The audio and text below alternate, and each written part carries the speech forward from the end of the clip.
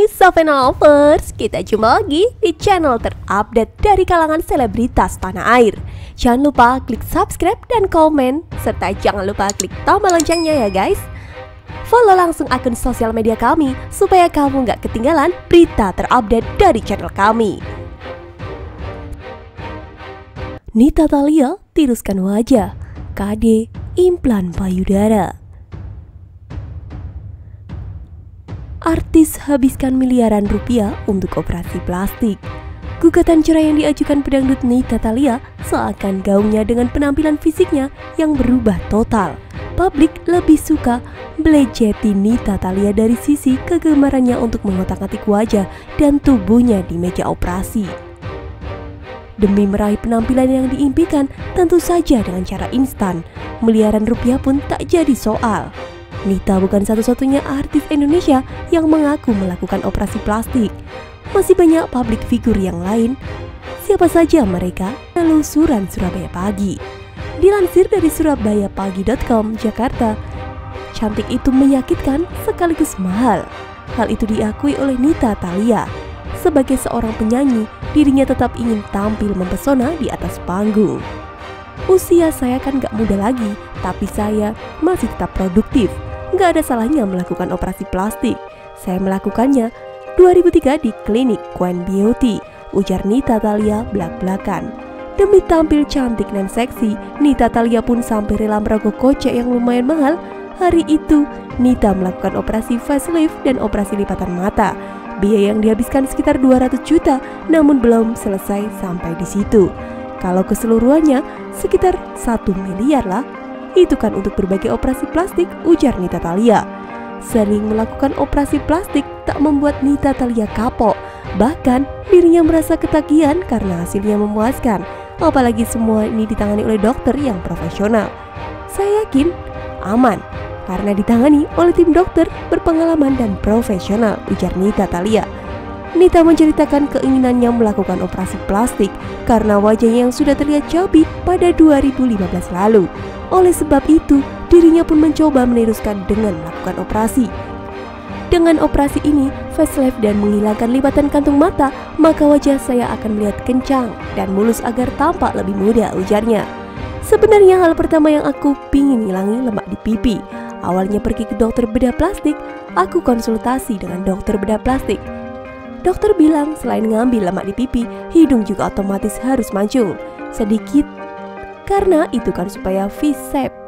Tambah perempuan berusia 37 tahun itu. Tambah perempuan berusia 37 tahun itu. Besarkan payudara, Terpisah penyanyi sekaligus anggota DPR RI, Krisdayanti juga tak segan mengakui kalau dirinya menjalani operasi plastik. Dalam acara Ngopi Darah yang dipandu oleh Jessica Iskandar dan Fani Gasani, wanita yang akrab dipanggil KD ini mengatakan bahwa niatannya untuk operasi plastik bukanlah untuk show off penampilan, melainkan ingin membahagiakan diri sendiri dan suami. Ketika kita memberikan hadiah untuk diri kita sendiri di depan kaca atau di kamar mandi, kan kita senang, ujarnya. Meski mengaku melakukan operasi hidung, namun Kristianti membantah bahwa hal ini dilakukan agar terlihat mancung. Pasalnya, menurut KD, bentuk hidungnya mirip dengan bentuk hidung sang mama yang sudah mancung dari lahir. KD hanya mengoperasi bagian cuping sehingga ujung hidungnya nampak lebih kecil dan ramping. Selain mengubah bentuk hidungnya, KD juga mengaku menjalani operasi tummy tuck atau abdominoplasti. Ia menghilangkan bagian kulit dan lemak yang berlebih di perutnya. Selain itu, otot perut juga diperkencang sehingga dinding perut terlihat lebih ramping. Biasanya operasi tummy tuck dilakukan pada perempuan yang memiliki tumpukan lemak di bawah bagian pusar. Hal ini umum terjadi terutama bagi wanita yang sudah melahirkan berkali-kali. Krisdayanti juga merombak dadanya. Dia juga berterus terang tentang implan payudara yang ia lakukan. Dengan metode ini, sebuah gel ditanamkan di bawah otot dada agar payudara terlihat lebih besar dan kencang. Meski mampu menunjang penampilan, namun dokter tidak menyarankan untuk melakukan prosedur ini. Pasalnya terdapat berbagai bahaya komplikasi yang mengintai. Perempuan berusia 45 tahun ini pun terlihat bangga lantaran operasi yang ditangani oleh dokter yang berpengalaman.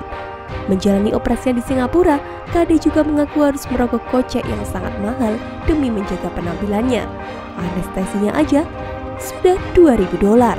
sama kamar operasinya per jam ujarnya. Gonta-ganti implan. Artis lain yang mengaku operasi plastik adalah Sintiara.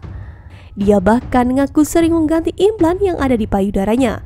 Alona ternyata punya alasan untuk lakukan oplas. Ya, memperbaiki supaya lebih baik aja, supaya suami aku nantinya nggak jelalatan lihat cewek lain.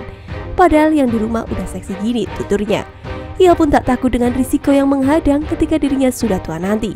Ya, itu aku gampang aja mas, jawabnya. Selama aku punya uang gak masalah.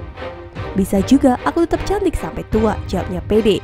Demi tampil cantik dan seks, Alona sampai menjual mobil Toyota Alphard di miliknya. Ya, kira-kira harga mobil Alphard yang aku putih itu ya.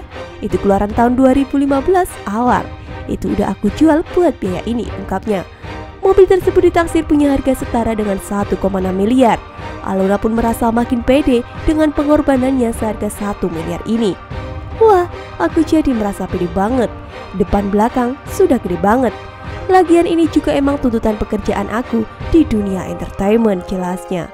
Setelah jalani implan, pemeran di perkosa setan ini merasa sudah cukup bahagia dengan bentuk tubuhnya yang mirip Kim Kardashian ini. Setelah jalani implan, pemeran di perkosa setan ini merasa sudah cukup bahagia dengan bentuk tubuhnya yang mirip Kim Kardashian ini. Wah, sudah cukup payudara, hidung dan rambut aku sudah cukup. Ini udah proporsional banget. Sudah happy aku nih. Menurut kalian bagaimana komentarnya Sofina Lovers? Tulis di kolom komentar ya guys.